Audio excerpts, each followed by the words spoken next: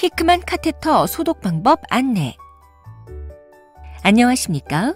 본 동영상은 히크만 카테터를 삽입한 환자의 정확한 소독 방법을 안내하기 위해 제작되었습니다. 이어지는 내용을 숙지하셔서 안전하고 효과적인 관리가 이루어질 수 있도록 협조해 주시기 바랍니다.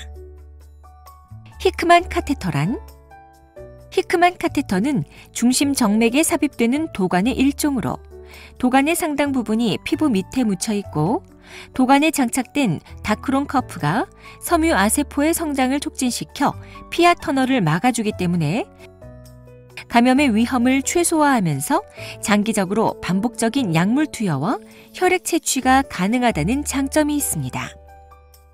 이러한 특징으로 인해 히크만 카테터는 강한 자극성의 항암제를 투여하거나 고영양 수액제를 지속적으로 주입하는 경우 말초 혈관의 사용이 어렵거나 잦은 체열과 수혈이 필요한 경우, 조혈 모세포 이식을 시행하는 경우 등에 폭넓게 사용되고 있습니다.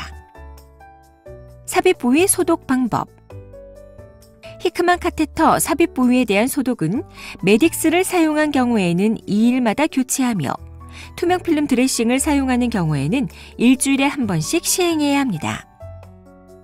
준비물 소독을 위해서는 디셋, 2% 헥시타놀을 적신 코튼볼 6개에서 8개, 메딕스 1장, IV 3000 또는 테가덤 1장, 청결 장갑과 멸균 장갑, 그리고 마스크가 필요합니다.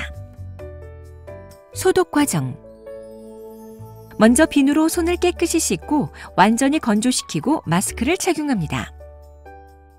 환자를 평평한 곳에 눕히고 상의 단추를 열어 소독할 부위를 노출시킨 후 목을 도관 삽입 부위 반대쪽으로 돌리게 합니다. 청결 장갑을 착용 후 카테터 삽입 부위에 드레싱 재료를 떼어내고 삽입 부위 주변 피부를 눌러 통증 및 피부의 이상 유무를 확인합니다. 청결 장갑을 제거하고 손 위생을 시행합니다. 준비된 디셋을 펼치고 멸균 장갑을 착용합니다.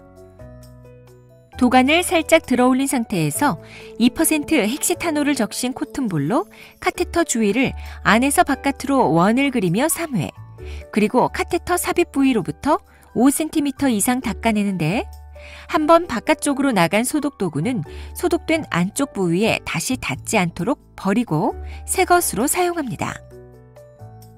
건조되는 과정에서 살균 효과가 나타나므로 소독약이 마를 때까지 30초 이상 기다려야 하는데 소독 부위를 오염시킬 수 있으므로 빠르게 건조시키기 위해 입으로 불거나 부채질을 해서는 안 됩니다.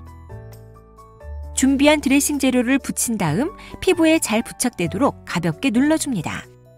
이후 드레싱 재료 위에 소독한 시간과 날짜를 적고 주변 물품을 정리한 후 장갑을 벗고 손을 씻도록 합니다.